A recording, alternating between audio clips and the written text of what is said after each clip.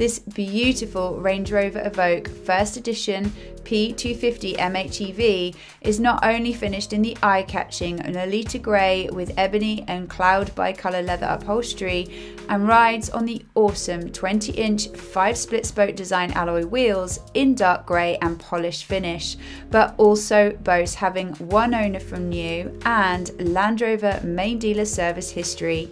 This highly desirable driver's car also benefits from fixed panoramic glass sunroof, head-up display, Meridian audio system, digital rear view mirror, electrically adjustable memory seats with heating function, satellite navigation, heated steering wheel, rear parking camera, exterior black styling, privacy glass, electric folding mirrors, parking sensors, and so much more.